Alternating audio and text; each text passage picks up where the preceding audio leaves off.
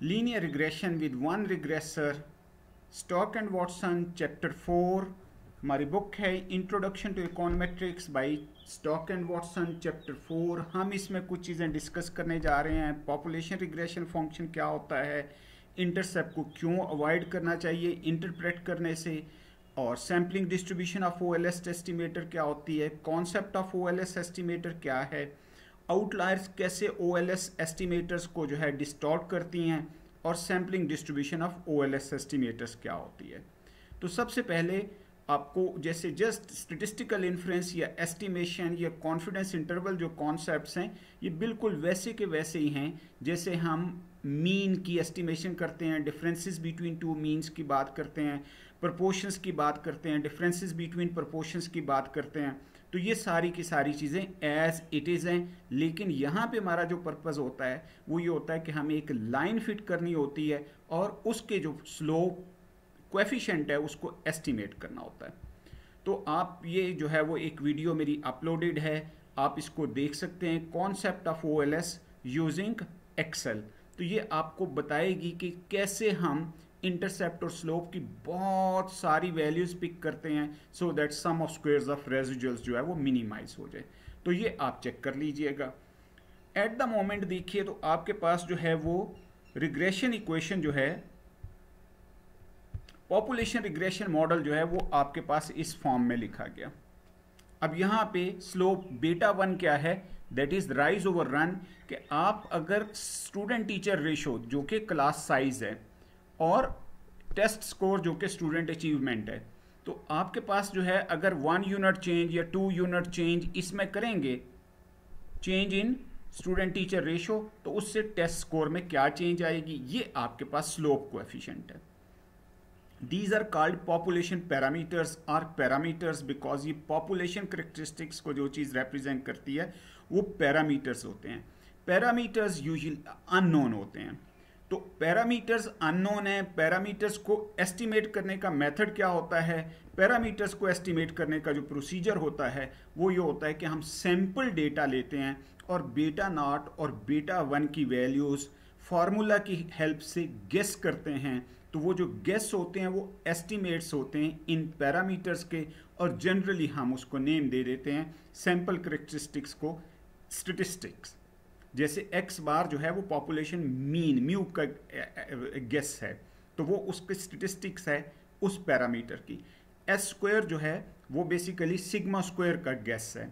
Beta naught hat beta naught का beta one hat slope coefficient का guess है।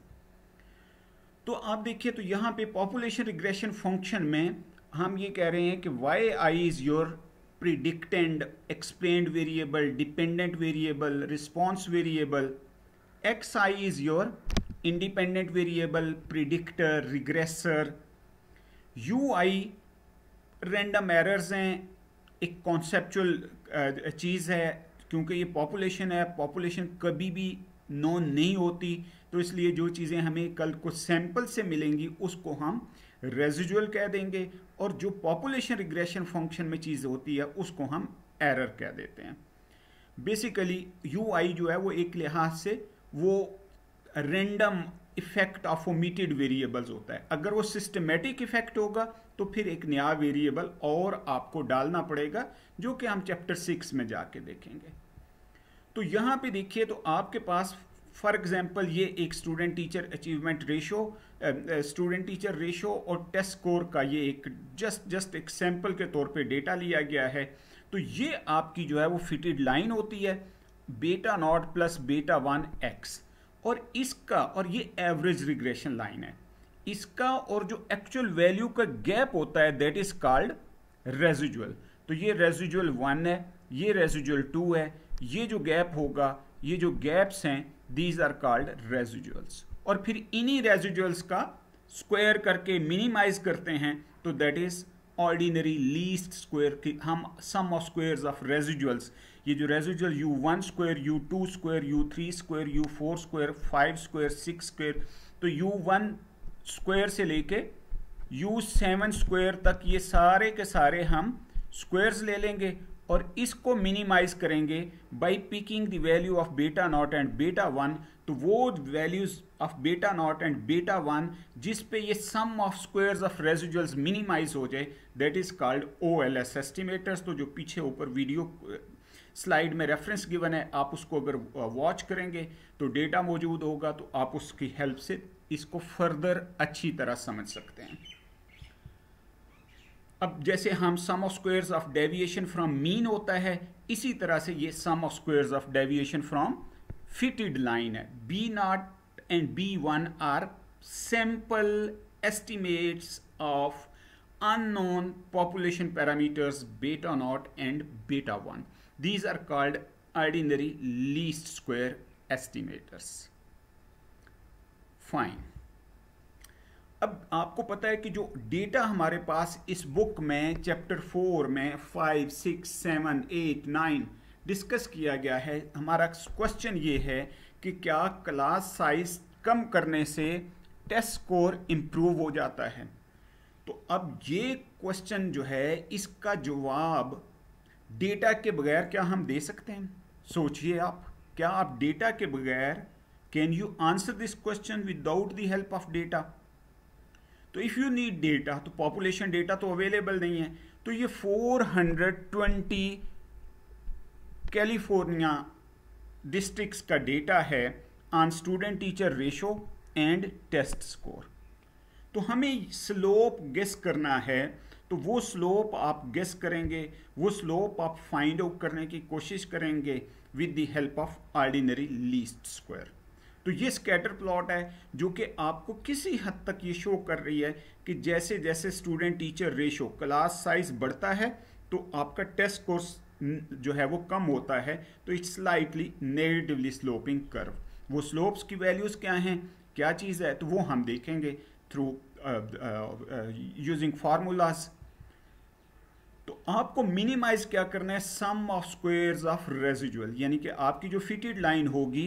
वो फिटेड लाइन है Y I hat equal to beta naught hat plus beta one hat X I तो वो जो fitted line आई है, इसका जो गैप है वाई आई से इस फिटेड तो ये आपके पास क्या हो गया? यू आई हैट तो यू आई हैट तो इसका मतलब आपके पास 420 यू आई हैट आ जाएँगे। उन सब का स्क्वायर आएगा, उन सब का सम करेंगे। तो वो sum of squares of residual आ जाएँगे। तो वो values of beta naught and beta one जिससे वो sum of squares of residual आपका मिनिमाइज हो जाता है that is called O those those estimators will be called O L S estimator क्योंकि वो आपके sum of squares of residual को लीस्ट कर रहे हैं। उससे कम वो हो नहीं सकता। हम्म तो ये slope coefficient we all know कि जी this is covariance between X and Y and variance of X तो एस एक्स वाई ये सैंपल के लिए एस एक्स वाई है। अगर पॉपुलेशन होता तो वो सिग्मा एक्स वाई होता। Divided by sigma X square की बजाय एस स्क्वायर एक्स है तो ये बेसिकली स्लोप एस्टिमेट है और ये आपके पास इंटरसेप्ट है Y bar minus beta one X bar intercept आपको ये इंडिकेट कर रहा है कि आपकी लाइन को अगर एक्स बार और वाई बार में से मीन्स में से पास होना है तो इंटरसेप्ट का होना ज़रूरी है। तो ओ एल एस की प्रिडिक्टेड वैल्यू क्या होगी? आप एक्स आई की कोई गिवन वैल्यू रखेंगे तो वाई आई हेड की जो वैल्यू आएगी वो आपके पास प्रिडिक्टेड वैल्यू आ जाएगी और जो उससे जो आपके पास जो और वो जो और जो फिटेड लाइन से गैप आएगा, ये फिटेड लाइन है तो वो जो फिटेड लाइन से बाकी पॉइंट्स का गैप है, वो क्या होगा? U I hat U I hat residuals हैं और यू आई जो है वो एरर्स हैं. एरर्स एक हाइपोथेटिकल चीज़ है. जो चीज़ आपको मिलेगी वो रेजिजुअल्स हैं. तो जब हमने ये 420 डिस्ट्रिक्ट्स का डेटा जिसमें टेस्ट स्कोर को स्टूडेंट टीचर रेशो पे रिग्रेस किया जो कि हम स्टेटा में देखेंगे मेरी कुछ शॉर्ट क्लिप्स मौजूद हैं वहाँ से आप देख सकते हैं। जब हमने रिग्रेस किया तो हमें पता चला कि ये आपके पास minus two point two eight है और ये सिक्स नाइन्टी एट है। अब यहाँ पे तो, तो ये आपके पास मॉडल फिट हो गया। अब थोड़ी सी बात सोचने की है कि इनकी इंटरप्रिटेशन क्या है।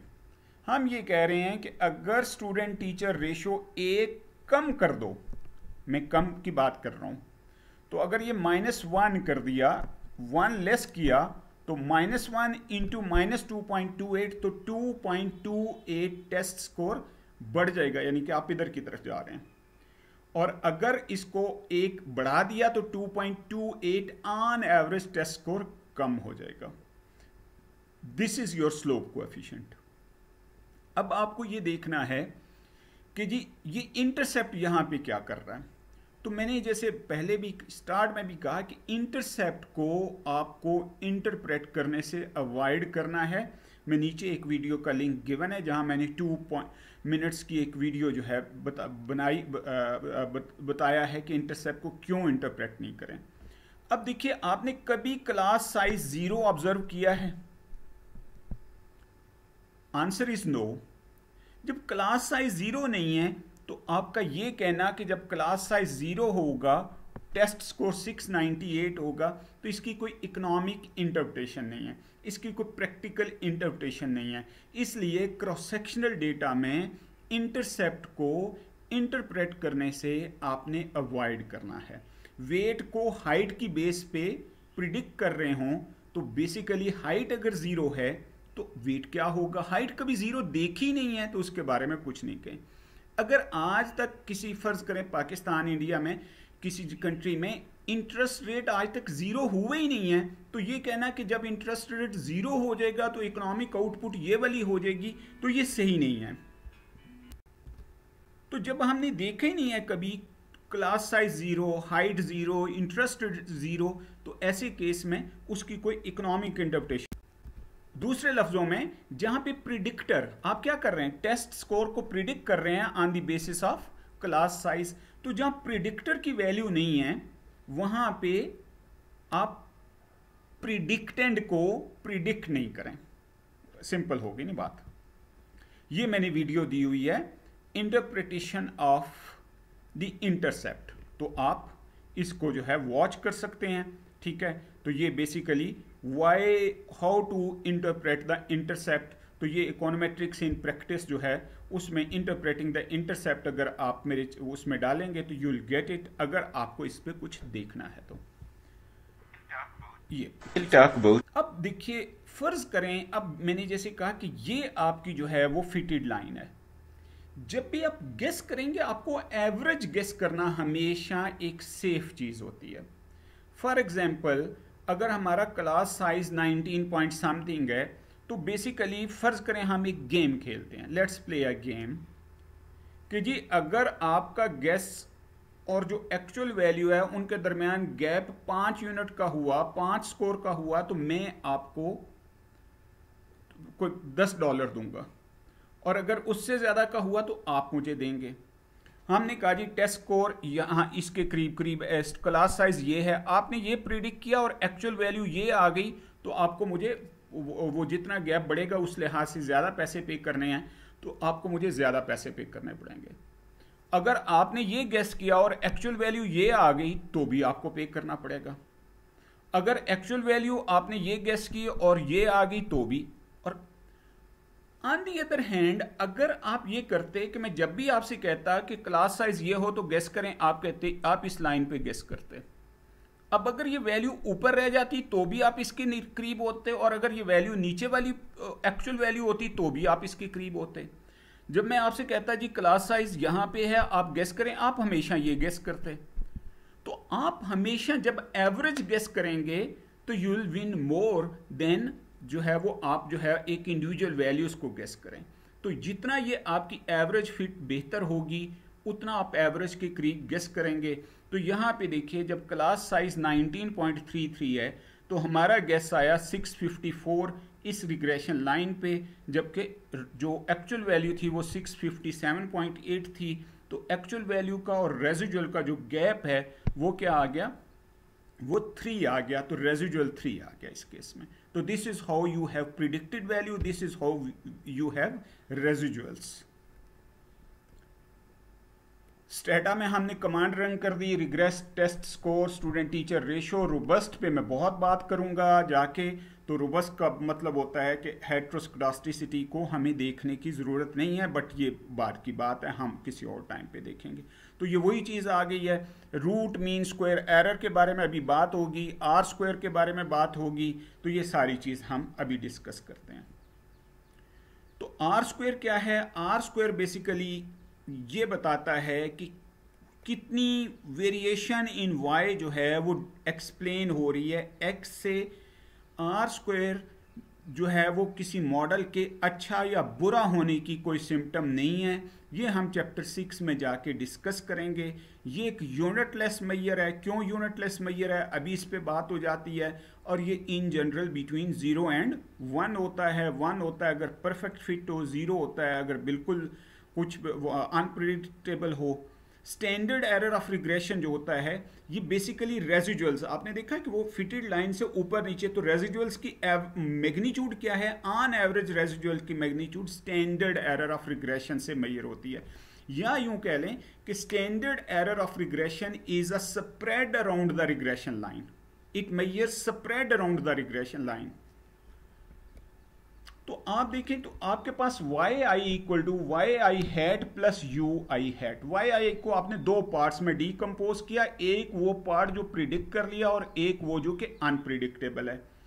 अगर आप sum of squares of residuals ले लें वाई आई में से वाई बार सब करें, इसमें से वाई बार हैट बार सब करें, इसमें से यू हैट बार सब करें तो आपके पास जो, और उसका स्क्वायर ले लें, जो मैं किसी और जगह पे ड्राइव करके बता दूँगा, वरना स्टॉक एंड वॉटसन की चैप्टर फोर की अपेंडिक्स में ये चीज़ जो है वो ड्राइव्ड है, आप वहाँ से देख सकते हैं।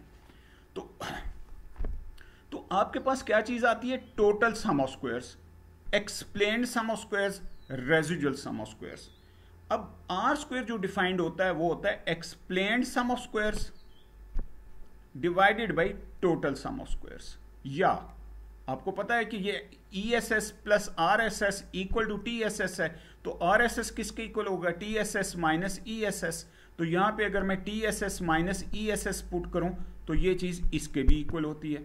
One minus R S S over T S S तो ये आप इसको देख सकते हैं।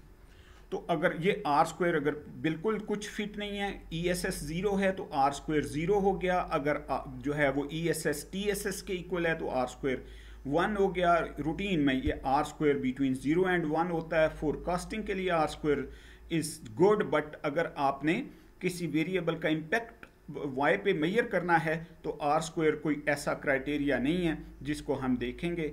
अगर दो वेरिएबल्स हों सिर्फ़ तो उनके दरमियान जो कोरिलेशन होती है, उसका जो स्क्वायर होता है, वो आर स्क्वायर होता है। लेकिन अगर दो से ज़्यादा वेरिएबल्स हों तो फिर R square is not the same as correlation between X and Y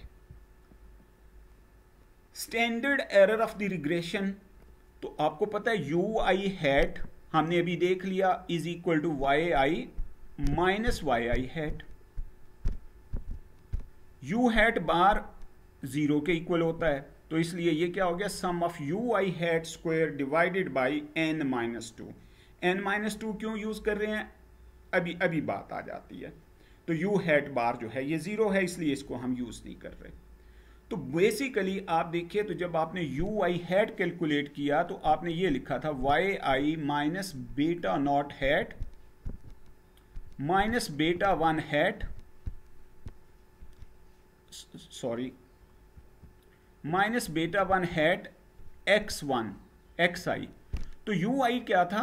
बेटा नॉट और बेटा वन रिप्लेस हुए बेटा वन हैट और बेटा नॉट हैट से। तो चूँकि आपने दो गेस यूज़ किए हैं इंस्टेड ऑफ़ पैरामीटर्स तो आपकी दो डिग्री ऑफ़ फ्रीडम कम हो गई। तो this is standard error of regression लेकिन अगर आप सिर्फ़ यू वन से लेके यू ट्वेंटी तक स्क्वायर करते हर एक का फोर ट्वेंटी तक। अगर इन सब का स्क्वायर करते और ऐड करते तो वो बनता sum of U I square और उसकी एवरेज ले लेते तो ये क्या बन जाता? मीन स्क्वायर एरर और इसका रूट ले लेते तो रूट मीन स्क्वायर एरर अब अगर तो एन स्मॉल होगा तो N one over N minus two और वन ओवर एन में फ़र्क आएगा। लेकिन अगर आपके पास एन बहुत लार्ज हो जाता है एन इज़ नाइन थाउज़ेंड तो आपके पास ये these are so close to each other कि स्टैंडर्ड एरर ऑफ़ रिग्रेशन और रूट मीन स्क्वायर एरर में एज सच कोई फ़र्क नहीं होगा। So this is N minus two से क्यों डिवाइड किया है? तो ये बात मैंने आपको एक्सप्लेन कर दी, आप इस स्लाइड को रोक के देख सकते हैं। देन आपके पास आ गया जी कि आपके पास R square point zero five है means five percent of the variation in test score is explained by student teacher ratio class size this is not इस पर कोई कोई ऐसा क्राइटेरिया नहीं है कौन सा आर स्क्वायर बहुत हाई कंसिडर होगा, कौन सा लो कंसिडर होगा। क्रॉस सेक्शनल डेटा में आर स्क्वायर यूजली बहुत हाई नहीं होता और टाइम सीरीज़ डेटा में बहुत हाई होता है। स्टैंडर्ड एरर ऑफ़ रिग्रेशन और स्टैंड आर स्क्वायर को मैक्सिमाइज करना या स्टैंडर्ड एरर ऑफ़ रिग्रेशन को मिनिमाइज करना एक ही बात है, क्यों, क्योंकि ये किस पे बेस्ड है? ये रेजिडुअल सम ऑफ़ स्क्वायर्स पे बेस्ड है। और आर स्क्वायर क्या है? One minus residual sum of squares divided by total sum of squares तो residual sum of squares minimize होंगे तो आर स्क्वायर मैक्सिमाइज होगा। स्टैंडर्ड एरर ऑफ़ रिग्रेशन जो है वो कम होगा। तो बेसिकली यहाँ से एक चीज़ अगर पॉइंट ज़ीरो फाइव को लिटरल सेंस में देखें तो स्टूडेंट टीचर रेशियो जो है, वो कम वेरिएशन एक्सप्लेन कर रही है टेस्ट स्कोर में।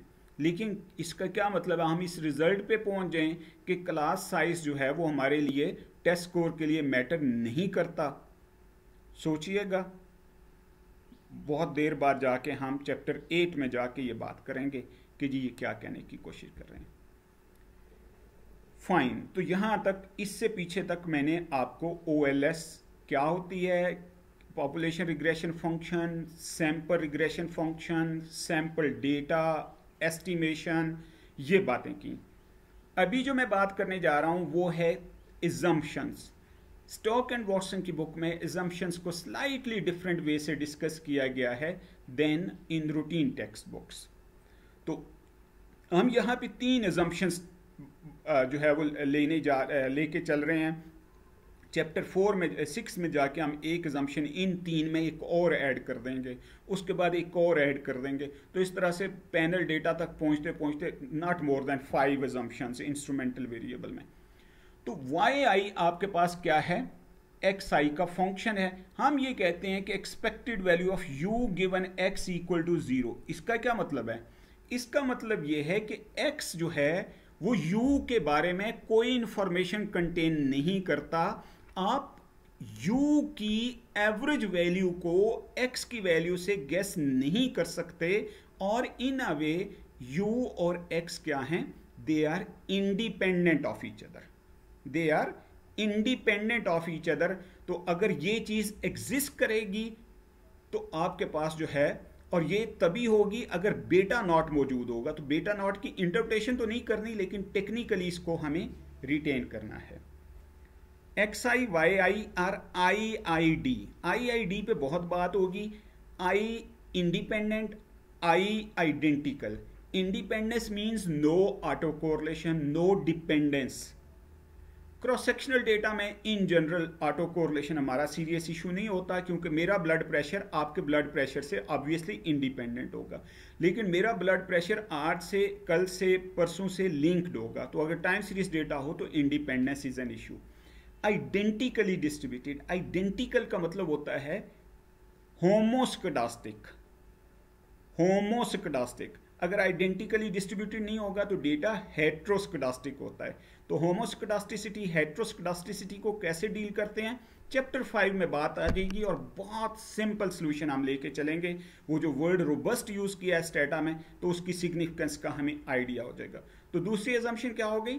कि एक्स और वाई दोनों के दोनों रेंडम वेरिएबल हैं। रूटीन में हमें जो ट्रेडिशनली जो हमारी सिक्सटीज़ की सेवेंटीज़ की बुक्स हैं, वहाँ पे ये लिख दिया जाता है X I pre assumed fix values तो ये अगर लैग वैल्यूज़ हों तो ये तो फिर तो प्री डिटर्मेंट हैं। अदरवाइज़ एक्स और वाई दोनों हमारे लिए रैंडम है तो यहाँ पे हम इन दोनों में डिफ्रेंशिएट नहीं कर रहे। Both are random variable large outliers in X and Y are rare ये एक एजम्पन है जो बहुत इंपॉर्टेंट है निकलस नसीम तालब की बुक ब्लैक स्वान अगर आप उसको पढ़ें तो उसका चैप्टर नाइन है normal distribution Gaussian distribution great intellectual fraud क्योंकि एक आउटलायर आ जाए तो आपकी सारी नॉर्मल डिस्ट्रीब्यूशन की थीरी जो है वो जो है वो क्लैप्स कर जाती है। तो बेटा वन हैट हम इन जनरल अस्यूम करते हैं कि जी ये बेस्ड होता है। नॉर्मल डिस्ट्रीब्यूशन इसकी डिस्ट्रीब्यूशन जो होती है वो नॉर्मल होती है। And secondly O L S is very sensitive to outliers तो ये भी एक वीडियो कहीं पे अवेलेबल होगी। आप देख सकते हैं O L S estimator is sensitive to outliers तो आउटलायर अगर डेटा में होगी तो it has very serious consequences तो अब यहाँ पे हम देख रहे हैं फ़र्स्ट एजम्पन हम ये कह रहे हैं कि अगर क्लास साइज़ 15 हो तो ऑन एवरेज डिस्ट्रीब्यूशन आपकी सिमेट्रिकल है और ये अराउंड जो है वो एवरेज पे ये फोकस रहेगी। 20 होगा 25 होगा तो you can not guess X from U तो बेसिकली हम ये कह रहे हैं कि जी X and U are independent of each other further आप इस पर थोड़ा सा देख सकते हैं। अच्छा ये वैसे तो एक्स और यू इंडिपेंडेंट का मतलब एक होते हैं randomize control trials randomize control trials Banerjee and Duflo लोगों ने डिज़ाइन किए हैं, बहुत ज़्यादा वाइड यूज़ में हैं। वो क्या है कि हाफ़ ऑफ़ द क्लासेस को हम स्मॉल क्लास बना दें हाफ़ ऑफ़ द क्लासेस को लार्ज बना दें और तो ऐसे केस में जो अदर फैक्टर्स अफेक्ट कर रहे होंगे वाई को टेस्ट स्कोर को तो वो यू से यू और एक्स सॉरी जो आपके पास अदर ओमिटेड फैक्टर्स होंगे, वो एक्स को उस तरह से अफेक्ट नहीं करेंगे। अभी तो आप कहेंगे कि जी एक्स जो है स्मॉल क्लास साइज़ और पेरेंट्स का ज़्यादा पढ़ा लिखा होना, उनकी इनकम होना, ये सारे फैक्टर्स जो है एक्स और यू तो वो यू में हैं, ये फैक्टर्स तो इसलिए एक्स और यू कोरिलेटेड है। लेकिन अगर हम रेंडमली असाइन कर देंगे तो कुछ लोग पढ़े लिखे होंगे, कुछ लोग जो है उनके पेरेंट्स पढ़े लिखे होंगे इनकम वाले ज़्यादा होंगे, कुछ वो लार्ज क्लासेज में चले जाएँगे, कुछ स्मॉल क्लासेज में चले जाएँगे तो यू जो है वो एक्स से इंडिपेंडेंट हो जाएगा। एक्स है आपका क्लास साइज़ तो जब आपने रेंडमली लोगों को डिस्ट्रीब्यूट कर दिया स्मॉल क्लास साइजेस और लार्ज क्लास साइज़ में तो ये आप कर सकते हैं। But usually such type of control trials are not easy to conduct and there are so many other fact things in social sciences कि हमारे पास ये लग्जरी नहीं होती तो हम ऑब्जर्वेशनल डेटा से डील करते हैं। यानी कि हम सिर्फ़ चीज़ें नोट करते हैं कि किन स्कूल्स में क्लास साइज़ जो है वो या एक ही स्कूल में क्लास साइज़ छोटे, बड़े और पूरे डिस्ट्रिक्ट में, पूरे इस, आपके जो है वो सिटीज़ में क्लास साइज़ किस तरह से हैं। सो इसलिए हम इसको इस तरह से नहीं देख पाते। तो ये आइडियल कंट्रोल एक्सपेरिमेंट्स पॉसिबल नहीं होते तो इसलिए हम रैंडम uh, हम ऑब्जर्वेशनल डेटा से डील करते हैं तो वहाँ पे हमारी एजम्पन है expected value of U given X equal to zero दूसरी एजम्पन एक्स और Y independently identically distributed random variables हैं। जब तक टाइम सीरीज़ डेटा नहीं है उसमें इंडिपेंडेंस वायलेट हो जाती है। उस वक्त तक हमें कोई इशू नहीं है वी प्रोसीड विद दैट तीसरी एजम्पन जो इन जनरल जो है वो बुक्स में नहीं मेंशन लेकिन वेरी इंपॉर्टेंट और ये कह लें ये लेस देन इन्फिनिटी है। कि लार्ज ये और एक्स रेस पर फोर है ये Y raise to the power four है यानी कि फोर्थ मोमेंट की बात हो रही है। तो ला, तो लार्ज आउटलायर्स जो है they are highly unlikely otherwise आपकी ओएलएस जो है ये बैठ जाएगी आपको least absolute deviation method apply करना चाहिए। ये देखिए जी। अगर आपको, मैं कहूँ कि ये ब्लैक डॉट्स में लाइन फिट करें सर्कल वाले डॉट को छोड़ के तो आप सारे मोर और लेस एग्री करेंगे कि ये वाली लाइन जो है वो बेस्ट फिट है।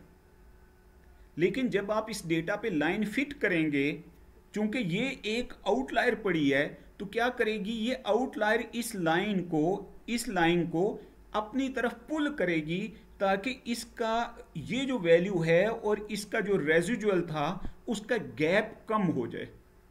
क्योंकि रेजिजुअल का गैप इतना बड़ा है और जब इसका स्क्वायर होगा तो ये बहुत बड़ी वैल्यू हो जाएगी। तो टू ओवरकम दिस इशू वो क्या करता है? वो उस लाइन को अपनी तरफ़ पुल करता है। जब वो पुल करता है तो बेसिकली क्या होता है कि वो लाइन जो बाकी बहुत सारे पॉइंट से दूर हो जाती है, उस पॉइंट के थोड़ा सा करीब हो जाती है तो कंप्रोमाइज हो जाता है। लार्ज वैल्यू के थोड़े करीब हो जाओ स्मॉल वैल्यू से थोड़े थोड़े दूर हो जाओ तो in general sum of square of residuals जो है, वो मिनिमाइज हो जाएगा, जो कि रूटीन में क्या चीज़ है? रूटीन में आपके पास ये एक लार्ज आउटलायर जो है, उसने पूरी की पूरी आपकी रिग्रेशन लाइन को डिस्टॉर्ट कर दिया। बहुत दफ़ा तो आउटलायर्स जो है, ये बेसिकली आपकी टाइपोग्राफिकल एरर्स होती हैं बट समटाइम्स जेनुअन आउटलायर्स होती हैं। जेनुअन आउटलायर्स को आप थ्रो आउट नहीं कर सकते। प्लीज़ रिमेंबर मैं इस पर किसी और टाइम पे बात करूँगा।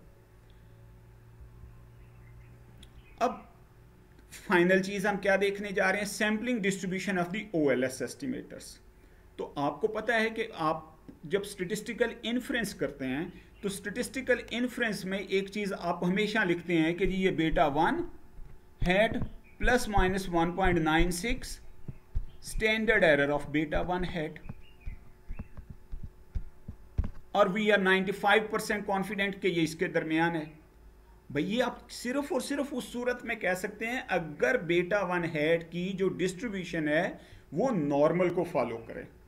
वो नॉर्मल डिस्ट्रीब्यूशन को फॉलो करे।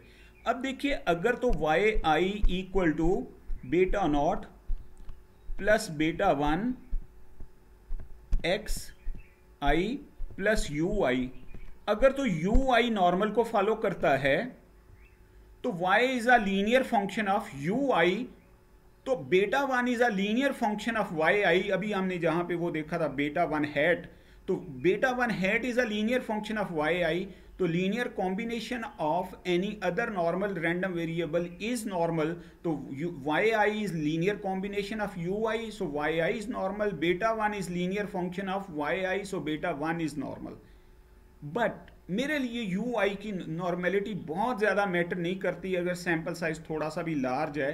वजह यह है कि अगर आपके पास जो है ये जॉइंट डिस्ट्रीब्यूशन ये थोड़ी सी आपने वो चैप्टर्स देख लीजिएगा। वजह यह है कि अगर आपके पास बेटा वन जो हेट है, ये अभी हमने देखा कि वो sum of x i x bar y i y bar divided by sum of x i minus x bar square तो ये जो डिस्ट्रीब्यूशन है, ये सम की डिस्ट्रीब्यूशन है। तो अगर सैंपल साइज़ लार्ज होगा तो सेंट्रल लिमिट थ्योरम क्या कहता है कि जो सम की डिस्ट्रीब्यूशन है, वो फॉलो कर जाती है।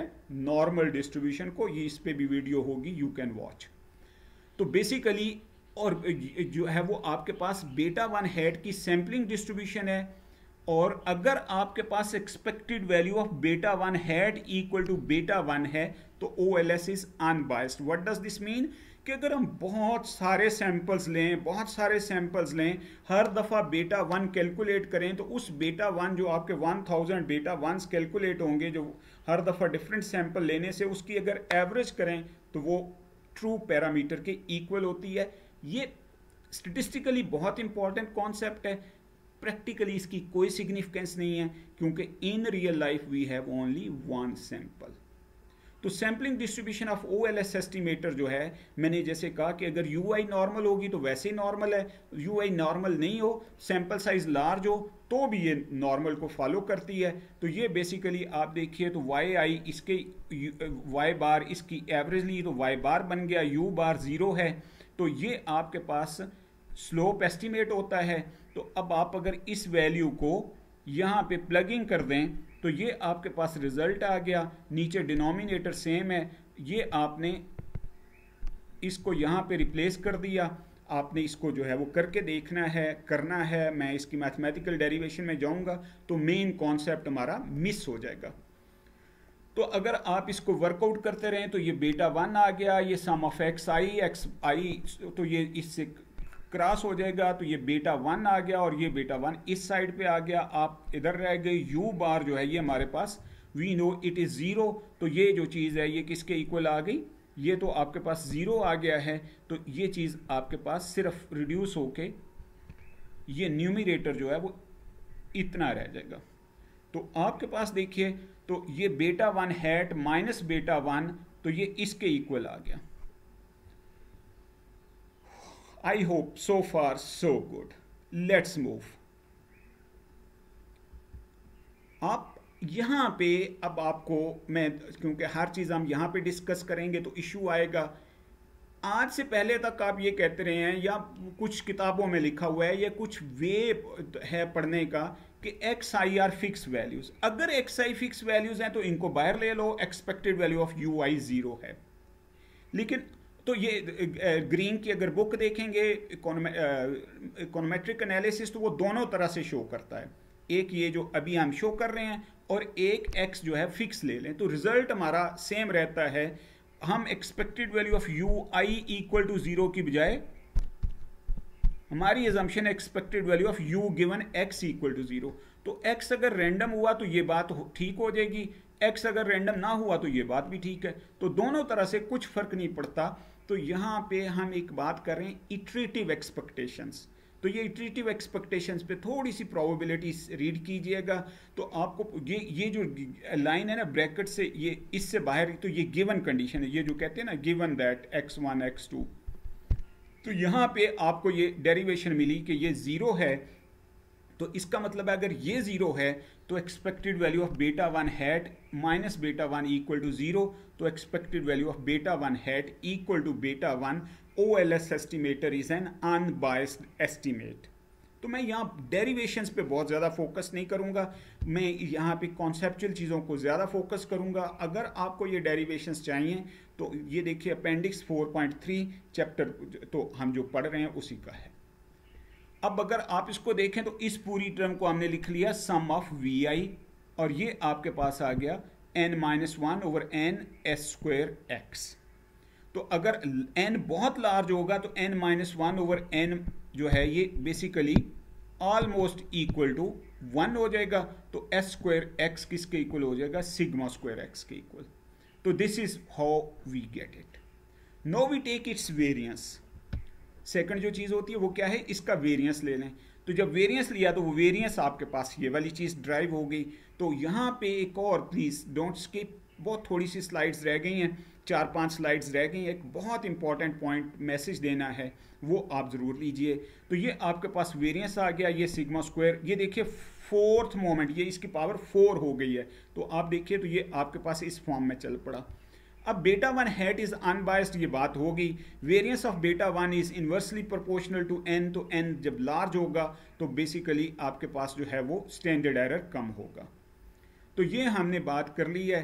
कि जी आपके पास सेंट्रल लिमिट थ्योरम से बेटा वन हेड की जो डिस्ट्रीब्यूशन है, वो किसको फॉलो करती है? वो नॉर्मल को फॉलो करती है with mean zero variance sigma square over n तो अब यहाँ पे जो चीज़ वेरियंस जो है वो आपके पास ये वाला, यहाँ पे जो एक चीज़ इंपॉर्टेंट है, वो ज़रा देखिएगा, वो क्या है कि ये तो चीज़ हो गई। ये लास्ट बस सेकंड लास्ट स्लाइड होगी। यहाँ पे इसको ज़रा देखिएगा। इसको देख, देखिएगा और ये वाली चीज़ देखिएगा। यानी कि अगर आपके पास, अब आप थोड़ी देर के लिए पास कीजिए। ज़रा सोचिए, वीडियो को यहाँ पे रोक लीजिए और सोचिए कि अगर मैं आपसे ये कहूँ कि ब्लू डॉट्स में से लाइन फिट करें। तो आप कोई लाइन अपने तौर पे सोच रहे होंगे, किसी ने शायद सोचा हो ऐसे। मैं आपसे कहूँ, ये जो इससे पहले लेफ़्ट हैंड साइड पे ब्लैक डॉट्स हैं, उसमें लाइन फिट कीजिए। अगेन आप थोड़े से कंफ्यूज होंगे। लेकिन अगर मैं आपसे कहूँ कि जी, इस सारे डेटा में से सिंगल लाइन फिट करें तो मोर सारे लोग आप कहेंगे इस तरह की लाइन है। तो इसको अगर आप डेटा की, इसका एक टेक्निकल वर्ड एट्रीशन अगर आपका एक्स की बहुत नैरो रेंज होगी तो वाई की प्रिडिक्शन जो है वो मुश्किल हो जाएगी? अगर आपका इंटरेस्ट रेट कभी सिक्स और सेवन परसेंट से इधर उधर कभी गया ही नहीं है तो आप वाई को नहीं आउटपुट को आप नहीं प्रिडिक्ट कर पाएँगे। अगर आपके पास सारे लोग जो है वो सेवेंटी एट जो है वो सिक्सटी एट इंचज़ और सिक्सटी नाइन इंचज़ के हैं तो हाइट का वे, जो है वो उसकी बेस पे वेट को प्रिडिक्ट करना बहुत मुश्किल हो जाएगा। रीज़न क्या है कि इसमें वेरिएशन बहुत कम होगी। जब इसमें वेरिएशन बहुत कम होगी तो ये वेरिएंस जो है वो ज़्यादा हो जाएगा। जब ये ज़्यादा हो जाएगा तो इसका स्क्वायर रूट जो है वो स्टैंडर्ड एरर है तो स्टैंडर्ड एरर ज़्यादा हो जाएगा। जब स्टैंडर्ड एरर ज़्यादा हो जाएगा तो टी स्टेटिस्टिक्स जो है वो स्मॉल हो जाएगी तो नल हाइपोथेसिस रिजेक्ट नहीं हो पाएगा। तो इसलिए आप याद रखिए एक्स में सफिशेंट वेरिएशन का होना ज़रूरी है। क्यों? क्योंकि एक्स ही तो एक्स की इंफॉर्मेशन की बेस पे ही तो आप वाई के बारे में कुछ कहने जा रहे थे। तो अगर एक्स के बारे में इंफॉर्मेशन ही आपकी बहुत कम है तो वाई के बारे में आप क्या कह पाएँगे? तो दैट्स वेरी इंपॉर्टेंट पॉइंट तो ये आप इसको ज़रूर देखिएगा। And this is probably the last slide तो ये हमारे पास हमने कहा कि O L S estimators unbiased हैं। उनका वेरियंस आपके पास इस तरह से है। और for large n beta one जो है वो नॉर्मली डिस्ट्रीब्यूटेड होता है। और ये जो है just like sampling distribution of y bar होता है एंड इस स्लाइड को मैं नहीं डिस्कस करने जा रहा, ये हम नेक्स्ट कमिंग लेक्चर्स में देखेंगे। Thank you for watching take care comment दीजिए सजेशंस दीजिए। इसके बाद से मैं क्या करूँगा कि ये जो डेटा हमने इसमें यूज़ किया है, इसकी हम statistical inference testing of hypothesis और ये चीज़ें हम देख सकते हैं। Thank you for watching take care